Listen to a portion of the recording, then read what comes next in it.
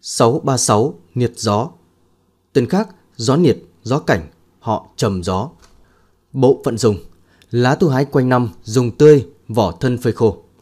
Tác dụng dược lý Niệt gió có hoạt tính kích thích sự chuyển dạng lympho bào, nuôi cấy in vitro, thể hiện có tác dụng kích thích miễn dịch. Tính vị công năng Niệt gió có vị đắng hơi cay, tính lạnh, có độc, sát trùng. Công dụng Theo kinh nghiệm dân gian, ở một số vùng, lá niệt gió được dùng chữa mụn nhọt, chủ yếu làm mụn chống mưng và vỡ mủ.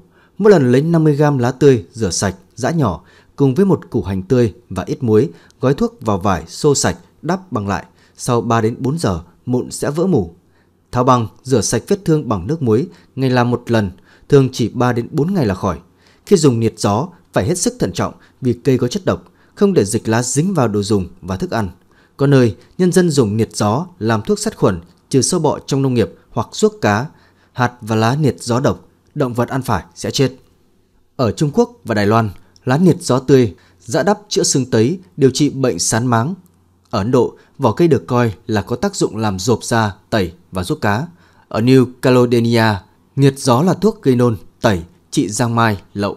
Bạn muốn biết thêm các cây thuốc, bài thuốc nam chữa các bệnh thường gặp, đơn giản, dễ áp dụng, hãy truy cập trang web bảo kỳ nam.com.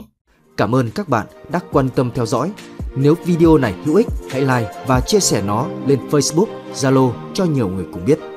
Để tiếp tục xem, các bạn hãy chọn một trong những video đang đề xuất trên màn hình hoặc đăng ký kênh và bật chuông thông báo để nhận thêm nhiều video hữu ích khác